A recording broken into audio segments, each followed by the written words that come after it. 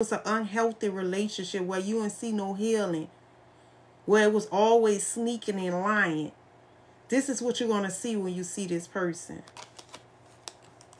So when this person come around you, you're just going to sit here and see the old version of this person. You're not going to see the new version of this person. And for some of you all, y'all probably kind of standoffish with the Seven of Wands and the Six of Swords and the Upright. You probably kind of in crisis. See?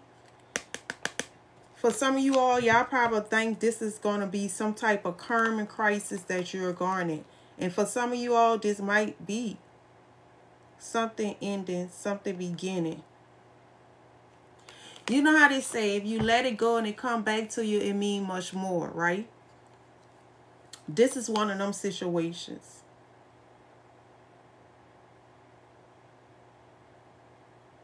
Well, y'all have been standoffish towards each other.